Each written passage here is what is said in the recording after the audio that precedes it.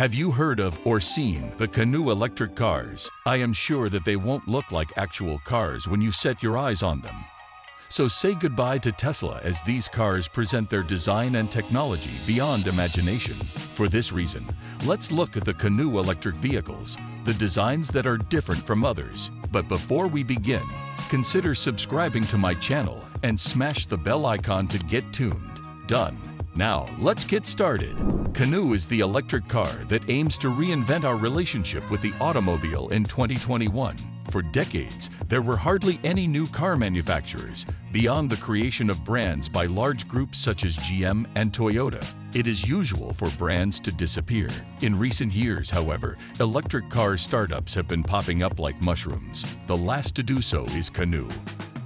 And it has recently presented its first car with a curious design, which it hopes to market exclusively via a subscription model. Canoo's proposal is risky, and not so much because of the design of the car, a minivan with minimalist airs and an almost symmetrical design. In Canoo, they describe it as a room on wheels, but it is also quite a declaration of intent. It's a type of vehicle that until now we've only seen in concept car form, like the Renault E-Z-GO. While the Canoo isn't quite in the commercialization phase yet, it will be in 2021. But it's also a functional design. The Canoo's dimensions are those of an American compact, which to us would be something like a BMW 3 Series or Lexus IS, and yet it offers ample space for seven passengers. By the way, at the moment, it only equips ADAS-type driving assistance systems. That is, it is at level 2 of autonomous driving, like almost all manufacturers, and they aspire to reach level 3 shortly. Tesla can do 2 skateboard-type chassis and cells. The base structure is that of a skateboard that integrates the battery and the motors. The battery has the same 2170 cylindrical cells that gave Tesla such good results. Canoo announces that its battery will have a nominal capacity of 80 kilowatt hour with a range of 250 miles, 400 kilometers, and the ability to charge to 80% in 30 minutes. Most of the electric car startups, and not so startups, on the other side of the pond, seem to see the scooter or skateboard type structure as the ideal way to create all kinds of cars.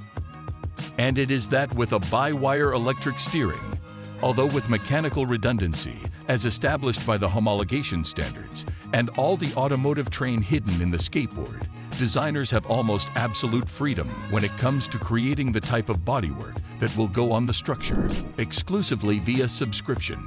The first of these cars is the minivan presented here. It will be available first in California and later in the large coastal cities of the United States exclusively by subscription. And that is the biggest risk that the company runs. Its business model. Canoo's idea is not to offer a subscription service like those that currently exist, such as Porsche Passport in the United States or Care by Volvo in Europe.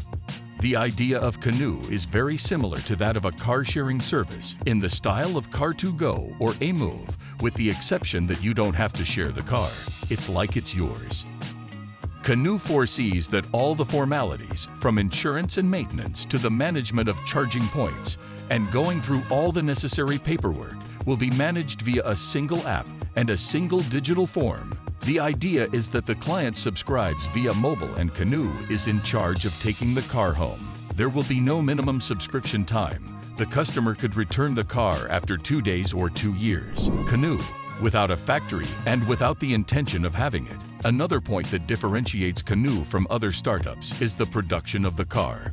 Canoo does not have a factory nor does it claim to have one. Since many of his team come from the automotive industry, they know what it takes to build a car, and so they will outsource the production. They don't want it to happen to them like Tesla and its bottlenecks. It is something relatively common in the automotive industry. The largest subcontracted manufacturer is Magna Steyr, which manufactures, for example, in Europe, the Jaguar I-Pace, a series of models for BMW and the Mercedes G-Class and it is most likely that it will finally be Magna Steyr, precisely. Canoo also differs from other startups because of who forms it and because of its business model. Founded by former BMW executives, including Ulrich Kranz, former BMW chief designer, after briefly working for Faraday Future, Canoo represents the great hopes of a new approach to electric mobility but must also respond to the great question of whether a subscription-only business model can be viable. Depending on how the market accepts the Canoo, we will see if there is finally a real change in the reality of the market. That is, if the payment for use of a product is imposed with a subscription model, and the market abandons the idea of owning a product, either by buying it or via renting, leasing, or financing. Canoo's unusual sales plan. After several problems with this matter, in which Faraday Future even sued Canoo, formerly known as EV City, for alleged theft of confidential information, it was not an obstacle for Canoo to move forward. The company reported a $1 billion gross last year. And so we come to the present, with the presentation of its first electric vehicle with a retro look, but which, in turn, is very futuristic. The most curious thing about the vehicle is that it is not possible to buy it, being only available by subscription. Although without many details about it, we know that it is an electric vehicle with an approximate autonomy of about 400 kilometers in the EPA cycle.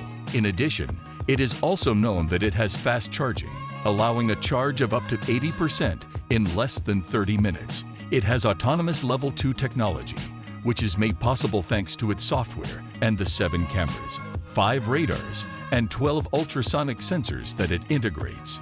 Contrary to what was indicated above, the Canoo does not have any screen inside, since the company is committed to allowing the occupants to use their own devices. This is how Richard Kim, former FF Design lead and now Canoo Design Manager, describes the vehicle. Why Canoo electric vehicles? Cars have always been designed to convey a certain image and emotion. However, the company has chosen to completely rethink the design of the car and focus on what future users will need. So they came up with this loft-inspired vehicle. By subscribing, you think differently about a car. Now the value is defined by user benefit. They implement the Bauhaus philosophy, which focuses on minimalism and functionality, and start with a reduction to the absolute minimum. They then applied that approach to seamless connectivity to the personal devices customers care about most, their phones. A point to note is that the control of the vehicle will be carried out by electrical signals. That is, according to the company, the Canoo will be the first true steering-by-wire vehicle on the market without a hardware connection between the steering wheel and wheels.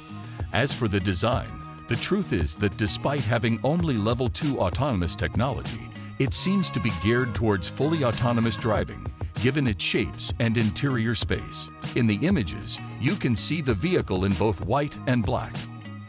The vehicles are currently undergoing a test program, with plans to launch the production version for subscription, which had already started in Los Angeles last year.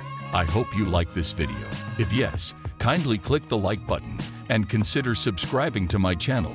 And don't forget to smash the bell icon to get notified. See you in the next video. Thanks.